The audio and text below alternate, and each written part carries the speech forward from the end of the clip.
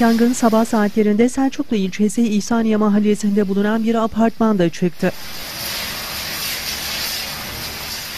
Cadde üzerinde bulunan 6 katlı binanın 5. katında AT'ye ait dairede elektrik kontağından çıktığı iddia edilen yangını fark eden apartman sakinleri durumu 112 acil çağrı merkezine bildirdi.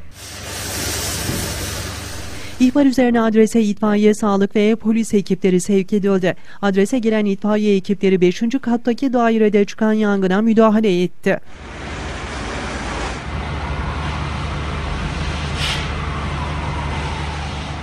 Bina sakinleri kontrollü olarak binadan tahliye edildi. Yangın itfaiye ekiplerinin müdahalesiyle kontrol altına alınarak söndürüldü.